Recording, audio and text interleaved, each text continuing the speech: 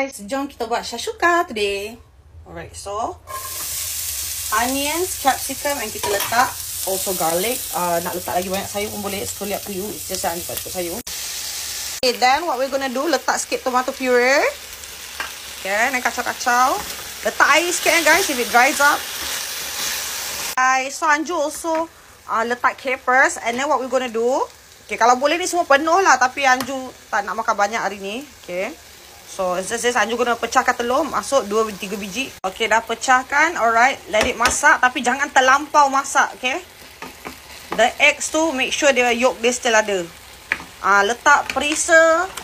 Letak freezer. And then garam sikit to taste. So, here it is. So, what I'm going to do is put chili oil on top. And also, sambal bilis ketagih daripada Fit Stocks. Okay. Okay, guys. So, let's do this.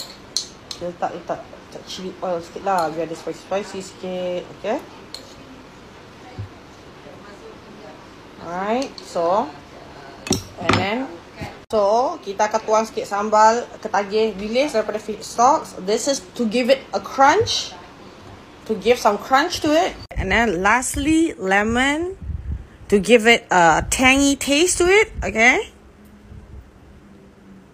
Okay. What you need to do is eat it with a piece of bread, or you can just eat it just like that. Up to you.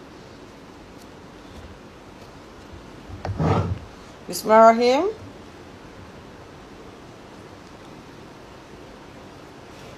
Oh, ah, so good. So, so good. Selamat mencuba.